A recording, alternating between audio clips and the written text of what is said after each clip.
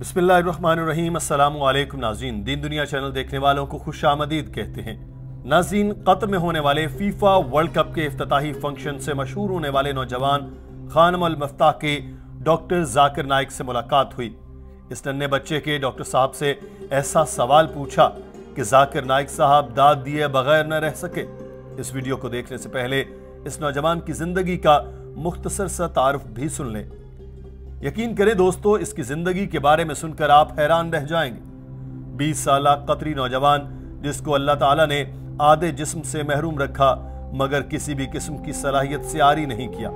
یہ نوجوان پیدائشی طور پر آدھے دھڑ سے محروم ہے، مگر آج دنیا بھر نے اس کو قطر کے البیت سٹیڈیم میں فیفا ورلڈ کپ کے افتتاح پر قرآنی آیات پڑھتے ہوئے دیکھا۔ خانم المفتاح یوں تو عرب دنیا میں خصوصی خلیجی ریاست میں ہر آنکھ کا تارہ ہے۔ چاہے خلیجی ممالک کے حکمران ہوں یا عوام، وہ سب غانم سے بے پناہ پیار کرتے ہیں۔ غانم المفتاح قطر کے دارالحکومت دوحہ میں محمد علی مفتاح اور ایمان احمد کے ہاں پانچ مئی دو ہزار دو کو اپنے جڑواں بھائی احمد کے ساتھ پیدا ہوئے۔ دوران حمل جب غانم کی والدہ ایمان احمد ڈاکٹر سے چیک اپ کرانے گئی تو ڈاکٹر نے الٹرا ساؤنڈ کے بعد بتایا کہ بچے جڑواں ہیں، مگر ایک بچے آدھے دھڑ سے محروم ہے۔ لہٰذا ہمارا مشورہ ہے اس آدھے دھڑ والے بچے کو پیٹ سے ہی ضائع کر دے۔ جس پر غانم کے والدین نے کہا، جب اللہ نے اس پر رحم کر کے سانس ڈال دیا ہے، تو ہم کیسے اس کی سانسیں چھین لیں؟ اس طرح والدین نے اللہ کی رضا سمجھ کر غانم کو اس دنیا میں آنے سے پہلے ضائع کر دینے سے انکار کر دیا۔ قدرت کا کرشمہ دیکھیں کہ غانم اس دنیا میں جب آیا تو صرف آدھے دھڑ سے محروم تھا۔ مگر آج اللہ نے اس کے جڑواں بھائی اور کروڑوں صحت مند بچوں سے زیادہ صلاحیتوں سے نوازا ہے۔ فیفا ورلڈ کپ کے بعد سے غانم کو عرب دنیا کے باہر بھی پوری دنیا جانتی ہے۔ غانم عام بچوں سے بھی زیادہ چابک دستی سے ہر کھیل کھیل سکتا ہے۔ چاہے وہ فٹ بال ہو، جیسے غانم ہاتھوں سے کھیلتا ہے۔ گھڑ سواری، سوئمنگ، باڈی بلڈنگ، باکسنگ، کوپیمائی اور ڈرائیونگ بھی کرنا۔ اس کے لیے ٹوٹا لینڈ کروزرز کمپنی سے خاص طور پر ایک کار تیار کی ہے، جس کے ایکسیلیٹر اور بریک سٹیرنگ کے ساتھ ہے جنہیں غانم اپنے ہاتھوں سے استعمال کر کے ڈرائیونگ کرتا ہے۔ غانم کو کئی عالمی ایوارڈ بھی ملے ہیں اور اقوام متحدہ سمیت کئی عالمی اور عرب اداروں اور بینکوں نے غانم کو اپنا برینڈ امبیسڈر کا درجہ بھی دیا ہے۔ قطر اور کویت کے نصابی کتابوں میں غانم کے بارے میں طلبہ کو پڑھایا جاتا ہے۔ اس کے علاوہ کئی عرب اور عالمی یونیورسٹیز کالجز اور سکولوں میں غانم بحثیت موٹیویشنل سپیکر عربی اور انگلش زبانوں میں لیکچر بھی دیتا ہے۔ حال ہی میں اس نے عمرے کی سعادت بھی حاصل کی۔ جہاں اس نے اپنے ہاتھوں سے چل کر طواف کیا، جسے دیکھ کر سعودی حکمران بھی ملنے حرم شریف آ گئے تھے۔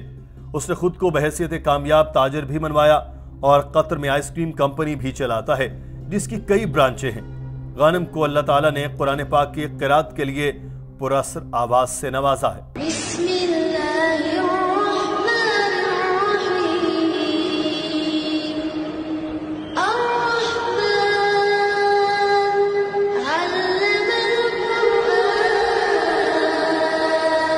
دوستو، اب غانم کی ڈاکٹر ذاکر نائک سے ملاقات کی ویڈیو آپ کو دکھاتے ہیں، لیکن آپ کو بتاتے چلے کہ یہ ویڈیو ورلڈ کپ سے پہلے چھ سال پرانی ہے۔ اس بچے نے خود کو ڈاکٹر ذاکر نائک سے متعارف کرایا اور کہا کہ میرا کوئی سوال نہیں، میں آپ کو سننے آیا ہوں۔ آپ سوچ رہے ہوں گے کہ چودہ سال کا بچہ یہاں کیا کر رہا ہے۔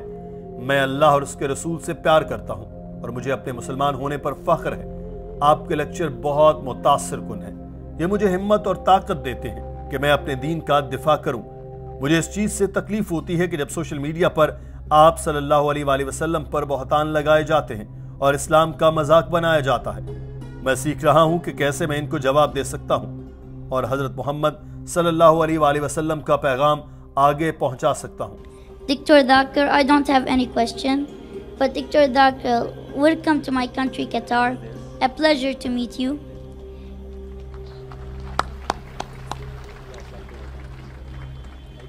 You may ask me what I'm doing here. I'm only 14 years old. Because I love God and Prophet Muhammad, peace be upon him. And because I'm proud to be Muslim. Your lectures are motivating me to stay strong and defend our religion and beliefs. It hurts me when I read when I read uh, comments in social media mocking the Prophet and insulting our great religion.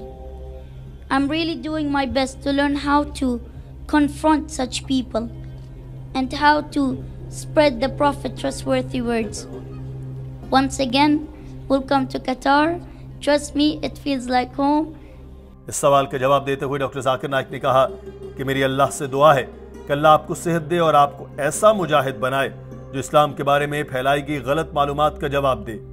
آج جیسا کہ آپ نے social media کے بارے میں سنا کہ یہ دنیا کا سب سے مضبوط ہتھیار ہے میں اللہ سے دعا کرتا ہوں کہ وہ میرے اور آپ کے ذریعے اسلام کے بارے میں پھیلی غلط فہمیوں کا مقابلہ کرنے کی ہمت اور توفیق عطا فرمائے ہال ڈاکٹر ذاکر نائک کی باتیں سن کر تالیوں سے گونج اٹھا MashaAllah, President, know about you.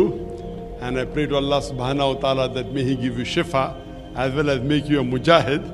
That means to, to clarify the misconception that is being spread about Islam.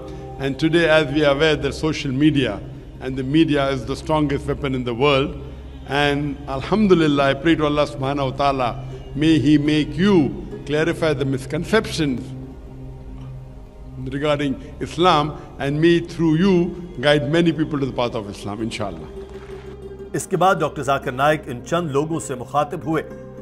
جنہیں انہوں نے سٹیج پر بلایا تھا۔ وہ سب مسلمان نہیں تھے، مگر مسلمان ہونا چاہتے تھے۔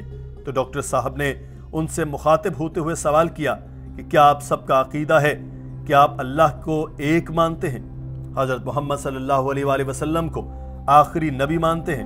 اور کیا آپ کا عقیدہ ہے کہ حضرت عیسیٰ علیہ السلام اللہ کے بندے ہیں؟ اس پر ان سب افراد نے ہاں میں سر ہلایا۔